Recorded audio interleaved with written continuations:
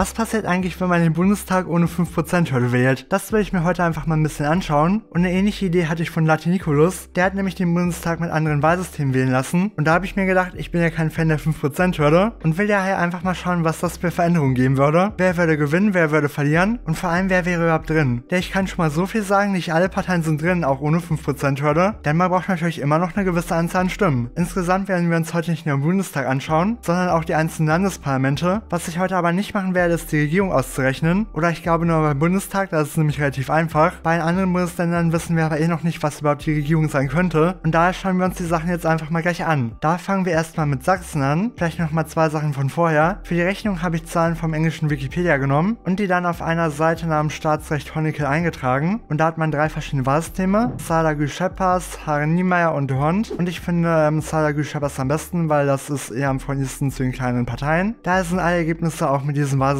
Ihr könnt ja selber mal die anderen nachrechnen. Nebenbei habe ich noch auf dem anderen Screen offen, wie viele Sitze die einzelnen Parteien haben. Und wir werden das einfach mal ein bisschen durchgehen. Und wir fangen logischerweise in Sachsen an. By the way, ignoriere ich einfach mal Übergangsmandate. Die werde ich einfach bei der anderen Rechnung auch wieder zutun. Und hier haben wir sieben Parteien im Parlament. Die CDU mit 41 Sitzen, die AfD mit 40, BSW mit 15. By the way, ungewohnt, die links von der Linken zu haben. Auf Wikipedia sind sie aber linker. Ich habe die normalerweise sehr rechter wegen den sozialen Fragen. Dann haben wir die SPD auf 10 Sitzen. Die Grünen haben 7 Sitze. Die Linken haben eigentlich nicht die 5%-Hürde, aber zwei Wahlkreise. Und daher nochmal 4 über die Liste bekommen. Und die Freien Wähler haben nur einen Wahlkreis. Das ist aber nicht genug für die zwei Wahlkreise Hürde. Deshalb haben die den einen bekommen, aber keine weiteren Listensitze. Das sind 120 Sitze. Und je mehr Sitze man hat, desto mehr kleinere Parteien wird man auch drin haben. Und wir gehen dafür mal zum Ergebnis ohne die Hürde. Und da wird es ein wenig bunter, aber auch nicht ganz so viel anders. Wir haben die Christdemokraten mit minus 2. Die AfD verliert auch 2. BSW verliert einen auf 14. Die SPD verliert einen auf 9. Die Grünen verlieren auch einen auf 6. Die Linken weiterhin drin mit 5 Sitzen. Das ist auch ein Minus von 1. Und interessanterweise kommen die Freien Wähler jetzt natürlich mit der Liste mit rein. Und dadurch gewinnen die 2 Sitze. Die sind, glaube ich, auch heute die einzigen in irgendeinem Parlament, die Sitze gewinnen. Alle anderen, die Sitze gewinnen, haben vorher keine Sitze gehabt, wegen der 5%-Hürde. Bis auf die Freien Wähler in Sachsen. Dann haben wir drin die Freien Sachsen mit 3 Sitzen. Dazu sage ich gleich nochmal eine Sache. Denn die drei Sitze sind ein bisschen kontrovers gleich. Die ist eine monarchistische Partei, die die Monarchie wieder haben will, rechter Sitz als die AfD. Und die Sachsen, glaube ich, unabhängig machen wollen oder regionalistisch oder so. Dann haben wir noch drei Parteien mit jeweils einem Sitz. Die Aktion für Tierschutz, also nicht die Tierschutzpartei. Die Partei habe ich auf der linken Seite. Den wird aber auch eine Nähe zur NPD und der Rechten vorgeworfen. By the way, interessante Ähnlichkeiten zwischen Tierschutzparteien und rechtsextremen Parteien. Die haben nämlich auch einfach mal ein EU-Mitglied rausgeworfen, weil er irgendwie Teil der AfD in, oder nicht AfD, der NPD in den 90ern war. Also da sind auf jeden Fall kleinere Probleme mit drin. Die Freien Demokraten hätten wir hier drin mit einem Sitz und dann noch die Partei, die Partei mit einem Sitz. Damit hätten wir vier neue Parteien und ich finde von den Mehrheitsverhältnissen gar nicht mal so viel anders. Also AfD, Linke und BSB haben glaube ich auch immer noch Mehrheit. Könnt ihr ja selber mal abzählen. Wobei ich glaube AfD und Linke, hier müsste ja schon 52 sein und dann 57, aber die Freien Sachsen dann auch wieder auf 60. Und zu denen muss man noch eine Sache sagen, denn denen wurde tatsächlich Wahlfälschung vorgeworfen. Man hat nämlich gemerkt, dass irgendwie in allen Teilen vom ähm, Bundesland irgendwie immer auf 2% saßen. Bis auf ein Bundesland, da hatten sie auf einmal 10% oder einen ähm, regionalen Wahlkreis. Und da hat man einen Typen gefunden, der anscheinend auch ähm, in den Stadtrat gewählt worden ist, aber ein paar hundert Wahlsachen ähm, gefälscht hat. Und der hat auch irgendwie was in Brand gesteckt. Also ganz komische Persönlichkeit. Habe ich jetzt auch nicht weiter nachgeschaut, aber ähm, sehr seltsame Situation auf jeden Fall mit denen. Und da die drei Sitze vielleicht ein bisschen mehr in Frage gestellt. Und das auf jeden Fall zu denen. Bevor wir weitermachen, könnt ihr gerne mal abonnieren. Da ich verpasst nämlich keine weiteren Videos auf dem Kanal hier mehr. Und wir gehen in Richtung der 10.000 Abos auf dem deutschen Channel. Mit dem englischen Kanal gemeinsam haben wir die ja schon. Und auch bitte gerne ein Like lassen, um dem Video zu helfen. Und wichtig, unsere Community-Wahl läuft auch weiterhin. Die verlängere ich bis zum Ende vom November. Und da könnt ihr euch für eure Lieblingsparteien abstimmen. Aus Österreich und der Schweiz. Und natürlich haben wir da keine Prozenthürde. Auch immer am Ende die sehr schönen Wahlkarten natürlich. Und wir gehen währenddessen hier einfach mal weiter. Thüringen haben wir 88 Sitze. Wir können es alle lustig machen. Haha, AfD gewinnt in einem Wahlkreis mit 88 Sitzen. Haha. Bevor es 20 Mal in den Kommentaren steht, muss ich den Witz auf jeden Fall selber machen. AfD auf jeden Fall mit einem großen Erfolg und 32 Sitzen. Dann die CDU mit 23 Sitzen. BSW hat dann dafür 15 und die Linken haben 12. Eine weitere haben wir dann noch, nämlich die SPD mit 6 Sitzen und keine weiteren irgendwelchen Klauseln für die Grünen oder für irgendwie anderen. Hier haben wir auch eine deutliche Mehrheit für AfD und die ähm, Parteien links hier. Daher Mehrheit natürlich eher schwieriger. Und wir gehen auf das Ergebnis ohne Hürde und da haben wir ein paar Veränderungen, aber auch nicht wieder ganz so viele. Und viele Namen sollten euch bekannt vorkommen. Erstmal haben wir eine weitere der etablierten Partei mit den Grünen, die haben hier drei Sitze. Wie weit waren die an der Prozenthürde gescheitert, kann ich mal nachschauen. Die hatten 3% und hier drei Sitze. Natürlich Gewinne von 3. 2. Weil über die Veränderungen der anderen Parteien habe ich noch gar nicht gesagt. Die AfD würde drei Sitze verlieren, die CDU würde zwei Sitze verlieren, BSW einen, die Linke tatsächlich gar keinen und die SPD würde einen Sitz verlieren. Dann haben wir noch vier weitere Parteien, die haben aber jeweils nur einen Sitz. Freie Wähler mit einem, dann die FDP mit einem, dann erneut diese Aktion Tierschutz mit einem und eine Partei, die mich ziemlich überrascht hat, die ist aber gerade noch mit 0,5% ähm, reingekommen. Ich glaube, hätten die ein paar hundert Stimmen weniger, wären die nicht drin, aber die Wertunion mit einem Sitz. Die ist ja ein bisschen gescheitert irgendwie im echten Leben oder auch bei den Wahlen, aber hier der halbe Prozent rettet die noch, 0,56%. Die Familienpartei mit 0,47% ist nicht drin. Und Bündnis Deutschland hatte 0,01% weniger als die, also die alle gescheitert. Wenn die zusammen angetreten hätten, die vielleicht ein bisschen mehr Stimmen bekommen oder vielleicht mehr Sitze, weil die anderen beiden sind ja scheinbar knapp daran gescheitert. Ein weiteres Parlament mit 88 Sitzen, hier aber nur vier Parteien, das ist nämlich Brandenburg, da haben wir die meisten Sitze bei der SPD mit 32, AfD knapp dahinter mit 30, BSW 14 und die CDU mit relativ schwachen 12. Und von den ostdeutschen Bundesländern haben wir hier auf jeden Fall die größten Veränderungen. Wenn wir hier nämlich draufgehen, werden die Sachen nämlich schon deutlich bunter. Nämlich hätten einfach mal sechs weitere Parteien mindestens einen Sitz bekommen. Da fangen wir aber erstmal mit den Verlusten, die sind nämlich ein bisschen größer. Die Sozialdemokraten verlieren 5 Sitze, nur auf 27. Die AfD verliert aber auch 5, BSP verliert 2 und die CDU verliert einen Sitz auf 11. Die Grünen hatten, glaube ich, ungefähr 4% und haben hier 4 Sitze. Die Linken werden hier nicht rausgeflogen und haben 3 Sitze. BVB Freie Wähler mit 2 Sitzen, die waren ja auch vor im Parlament. Die sind mehr oder weniger die Abteilung der Freien Wähler, aber eher unabhängig im Vergleich zur Hauptpartei. Also ich glaube, die machen so ein bisschen ein eigenes Ding und sind nur lose mit denen zusammen. Dann haben wir endlich mal die Normal-Tierschutzpartei mit zwei Sitzen und nicht irgendeine Aktion, weil wir haben ja noch eine dritte mit der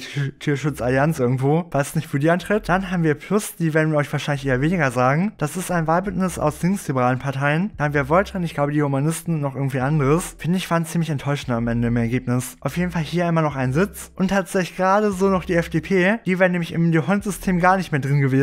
Wie viel Prozent hatten die nochmal? Die hatten, haben wir es denn? Ich glaube 0,8 Prozent. Die FDP daher also eher glücklich wirklich drin, ähm, plus mit 0,9 Prozent. Tierschutzpartei einfach mal mit 2 Prozent. Tierschutzparteien sind immer ziemlich stark eigentlich. Immer 1 bis 2 Prozent, das ist ziemlich sicher. Und die haben hier sogar noch Stimmen verloren gehabt. Also ich weiß nicht, wo die immer ihre Stimmen herbekommen, aber die sind immer ziemlich stark und immer vertreten irgendwie in Wahlen. Und dann das, worauf wir alle gewartet haben, der Bundestag. Und da haben wir am Anfang erstmal 8 Parteien, denn die CSU habe ich hier nochmal einzeln gerechnet. SPD auf 206 sitzen, die CDU auf 152, Grüne 118, FDP 91, AfD 83, CSU hat 45 und die Linken haben natürlich nicht die 5%-Hürde. Und natürlich hatten die Linken nicht die 5%-Hürde, aber drei Grundmandate, daher 39 Sitze. Und dann fragt euch, ähm, müssen doch jetzt alle gewesen sein? Nein, wir haben natürlich noch den Südschleswigischen Wählerverband mit einem Sitz. Der darf ja schon antreten ohne die 5%-Hürde jetzt. Daher werden hier die Veränderungen eher weniger sein. Und ja, ich habe hier ein sehr schönes Parlament mit sehr vielen Farben, aber auch mit wenig Veränderungen, wenn ihr mal drauf schaut später. Und wir gehen auf das andere Parlament. Ich kann schon mal so viel sagen. Wir hatten, ähm, ich glaube, 735 Sitze, dementsprechend deutlich mehr Parteien. Wir haben nämlich, das kann ich nochmal nachschauen, 1, 2, 3, 4, 5, 6, 7, 8, 9, 10, 11, 12, 13, 14, 15, 16, 17, 18, 19, 20, 21, 22 Parteien. Ich bekomme keine Luft mehr und, ähm, und vier von denen haben aber gar nicht mal so viele Sitze. Also sind vertreten, machen aber relativ wenig für die Sitzparteien und Koalition aus. Da gehen wir jetzt einfach mal durch und fangen bei den größeren Parteien an. SPD verliert 17 Sitze, CDU verliert 12, Grüne verlieren 10 Sitze, FDP verliert 7 Sitze, AfD und CD, CSU auch ebenfalls 7 Sitze. Die Linken verlieren 3, weil sie natürlich auch weniger hatten. Ja, die größeren Parteien verlieren immer mehr, weil die halt ähm, mehr Sitze generierten. Und damit kommen wir zu den weiteren Parteien. Da fangen wir an mit den Freien Wählern mit 18 Sitzen. Natürlich, wie auch schon vorhin erwähnt, die Tierschutzpartei mit 11 Sitzen. Auch in 2021 hatten die nämlich wieder, ich glaube, 1,5 ähm, Prozent. Die impfkritische Impfgegner der Basis mit 10 Sitzen. Die Partei mit nur 7 finde ich ähm, weniger als die Basis. Interessant auf jeden Fall. Dann haben wir hier das Team Totenhöfer, aber auch nur mit 3 Sitzen. Der ist quasi die rechte Version von Sarah Wagenknecht, kann man glaube ich sagen. Der hat auch mit diesem einen Musiker zusammen ein ähm, Musiklied gemacht, ähm, der ja jetzt antisemitische Aussagen bringt. Wie heißt denn der nochmal? Ich gebe einfach mal ein, ich gebe einfach mal einen Verschwörermusiker. Findet man den da? Stabil auf jeden Fall, dass man den direkt findet. Er ist Xavier Nadu. Natürlich den Namen vergessen. Also er hatte mit dem auch irgendwie Lied, das irgendwie antisemitisch genannt wurde. Und der ist auch ein Fan von dem Assad-Regime. Piraten haben wir dann auf drei Sitzen. Volt haben wir ebenfalls auf drei Sitzen. Dann haben wir die ähm, ÖDP, die ähm, ökologisch-konservative auf zwei. Also die rechten Grünen. Rechter als der AfD haben wir auch eine Partei, die NPD mit einem Sitz. Und grundsätzlich haben wir jetzt alle jeweils einen Sitz. Natürlich der SSB hat ihren einen Sitz behalten. Wenig überraschend. Dann hoffe ich mal, ihr seid gesund, wo jetzt sehr viele Leute krank werden. Wenn nicht, haben wir immer noch die Partei für Gesundheitsforschung, die natürlich mittlerweile die Partei für Verjüngungsforschung sind. Wisst ihr natürlich alle. Genauso wie ihr wisst, dass die NPD mittlerweile gar nicht mehr NPD heißt, sondern die Heimat. Ein sehr bekannten Namen damit leider verloren. Also vielleicht nicht die Partei, also ich hoffe jetzt nicht so viel Fan von denen. Die linksliberalen Humanisten haben einen Sitz. Damit meine ich bei die Partei hier, eine linksliberale Partei und nicht die humanistische Partei. Das ist nämlich eine sehr linke Partei, die auch eine Partei eine relativ große Schiede hat und dem universellen Humanismus zugehört. Auch teilweise libertäre Sozialisten, glaube ich. Und die folgen einem Mann namens Silo. Siloismus auch genannt. Parteienerklärung mit ähm, JT. Dann haben wir die christlichen Fanatiker von Bündnis C. Die wollen einen Gottesstaat errichten. Einen Sitz hier. Bei der EU waren die, glaube ich, sogar noch ein bisschen stärker. Familienparteien wir, glaube ich, gar nicht drin. Fällt mir gerade auf. Waren die, gar nicht, die waren, glaube ich, gar nicht angetreten. Ich habe mir jetzt schon gerade Sorgen gemacht. PDF, by the way, auch angetreten. Da hatten die aber nur ähm, 3000 Stimmen. Das reicht hier deutlich nicht. Dann haben wir noch zwei Parteien. Einmal die Bayern-Partei. Wo haben wir die? Die von der Färbung. Hier haben wir die. Ein Sitz, eine ähm, konservative Partei und die Bayern unabhängig machen wollen. Und eine haben wir noch, die V-Partei hoch 3. Das ist die Veganer-Partei. Wer wird jetzt hier einfach in diesem Parlament eine Regierung formen? Das ist nämlich sehr kompliziert. Es kann nämlich einfach die Ampel sein. Die hat nämlich auch hier gemeinsam eine Mehrheit mit 381 Stimmen. Und man braucht nur 368 Stimmen für eine Mehrheit. Und wenn sie nochmal wen brauchen, haben sie auch Parteien, wie ihr vielleicht wollt. Humanisten kann man bestimmt auch mal reinholen. Piraten vielleicht mal. Und bei Linken vielleicht mal Tierschutzpartei, vielleicht auch mal die Linke oder keine Ahnung, andere Parteien. ÖDP vielleicht, Freie Wähler. Und das finde ich hier auf jeden Fall interessant. Natürlich stimmen hier auch weniger Leute für kleinere Parteien, weil die glauben, dass die eh keine Stimmen bekommen oder keine Sitze. Daher wäre vielleicht das Ergebnis auch immer noch mal ein bisschen extremer. Dennoch finde ich auf jeden Fall interessant, sich das Ganze mal anzuschauen. Lasst gerne ein Like und ein Abo da und ich habe hier noch mal ein anderes Video. Da habe ich einfach mal versucht, die Welt mit Korea zu erobern oder Südkorea. Und auch noch mal ein zweites Video, da habt ihr nämlich das Ergebnis der Community-Wahlen, wenn ihr weiteren Wahlen sehen wollt. Und wenn euch das hier gefallen, sollten euch die Videos auf jeden Fall auch gefallen. Like und abonnieren natürlich wie immer nicht vergessen. In der Beschreibung findet ihr meinen Discord-Server und könnt ihr gerne mal drauf joinen. Das soll es aber für heute gewesen sein und ich sage einfach nur noch